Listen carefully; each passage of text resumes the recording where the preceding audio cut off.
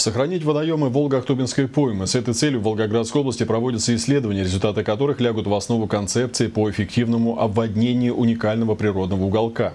На какой стадии сейчас находится изыскание и каков план дальнейших работ? Эти вопросы обсуждались на встрече ученых, экологов, членов регионального правительства и общественников.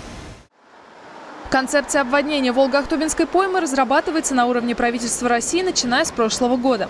В ее основу лягут результаты исследований, подобных которым в нашем регионе не проводилось уже более 20 лет. Так, на первом этапе были проведены аэро- и спутниковые съемки территории природного парка, топографо-геодезические работы. Затем ученые приступили к исследованию пойменных водоемов на площади более 8 тысяч квадратных километров. Первый – это э, ключевой приплотинный участок в районе Волгоградского гидроузла. 20 километров ниже Волгоградского гидроузла в русле Волги а, э, работы проводились с максимальной степенью подробности, промеры через 100 метров.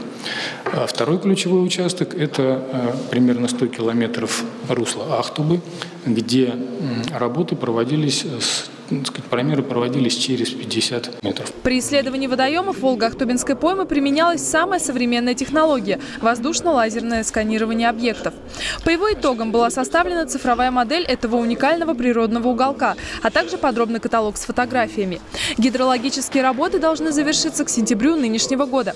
А третий этап исследований, он планируется к концу года, позволит определить техническое задание ученым по наполнению водой Ахтубы и Ериков. Нам нужно э, научное обоснование и состояние всей экосистемы и э, всей водной системы нашей Волго-Ахтубинской поймы. Для это, этот документ необходим для технического задания по выполнению проекта по обводнению Волго-Ахтубинской поймы и выполнению всех проектных решений по водопользованию, которые у нас есть. Это нужно совместить, о чем вы сегодня услышали, энергетиков, нужно совместить работников сельского хозяйства, рыбоводов нужно здесь совместить запустить в целом всю экосистему. Кстати, масштабные исследования поймы ведутся не только на территории Волгоградской области, но и соседней Астраханской, а также в Калмыкии.